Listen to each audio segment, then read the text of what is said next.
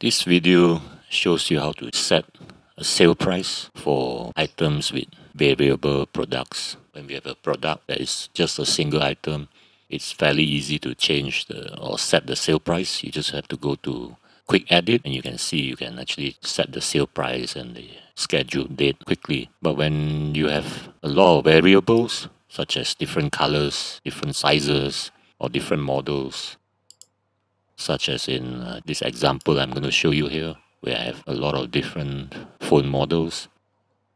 You have to go to the product page, edit product, scroll down.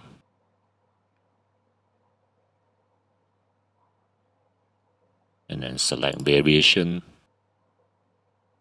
Instead of changing one by one, you can select set sale prices.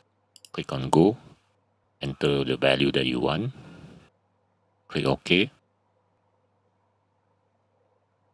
And then you select set scheduled dates. Click on go. If you want the sale to start immediately you can actually just leave it the start date blank and then just fill in the end date. Click on OK. And update the page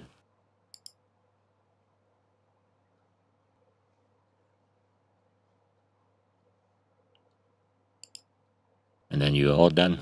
I hope you will find this useful. Thanks for watching.